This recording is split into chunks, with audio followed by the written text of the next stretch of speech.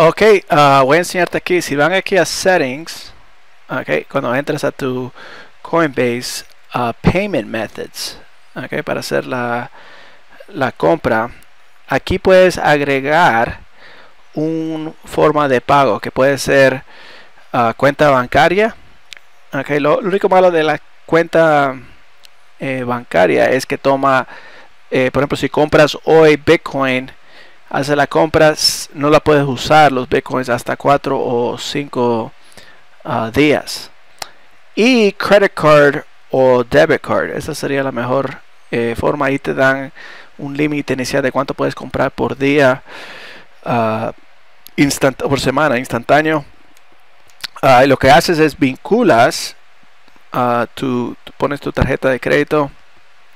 De ahí la van a verificar, van a hacerle dos depósitos como de un dólar y un dólar y cinco y tienes que verificar esos depósitos. Entras a tu tarjeta de crédito mira los depósitos y miras esos uh, deposits en tu cuenta y ya está verificada tu, tu tarjeta de, de, crédito o débito uh, igual la cuenta bancaria hacen lo mismo hacen dos pequeños depósitos y las, las verificas así que esa es la forma de agregar uh, aquí en Coinbase para tú y después para poder comprar porque después dices quieres comprar y tú dices quiero comprar o en dólares la equivalencia en dólares o si quieres ponerlo en bitcoin por ejemplo si quieres comprar mil dólares en bitcoin ya te dice ok um, más el recargo que cobra eh, eh, estos right? lo que cobra coinbase.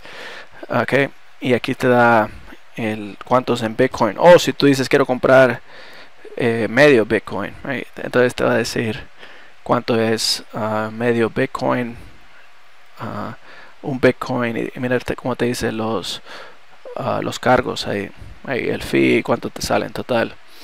Okay, y casi que el precio de Bitcoin constantemente está eh, fluctuando, así que lo, es el precio que lo compras en ese instante. Okay, así que éxitos y nos vemos.